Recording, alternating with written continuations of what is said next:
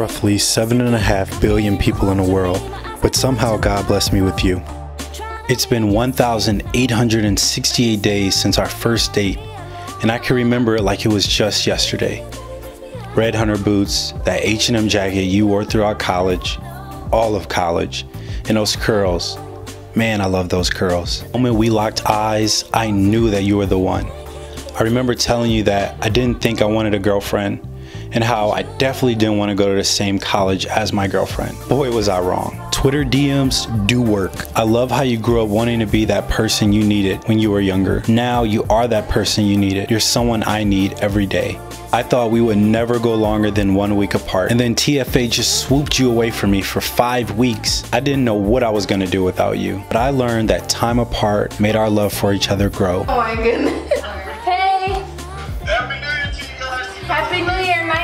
Always supported my dreams, even the crazy YouTube one. So we've traveled together, taken many different means of transportation, did that whole New York thing, did mountain driving in Yosemite, been stuck in a layover for over seven hours. We've worshiped together. And my favorite pastime, singing in the car. We're practically soulmates. But let's make it official.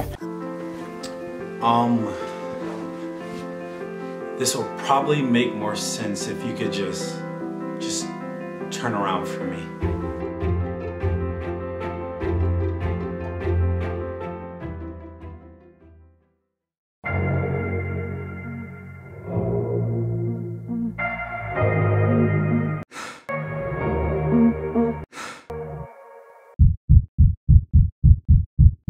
Alright, ooh baby, just hold tight. We're up the moonlight, believe in the magic. Right. Just look at that bright light, believe in the magic, and we can save you from your past. This bond is always gonna last. When nothing else makes sense, just dance. What you gonna do? We're doing it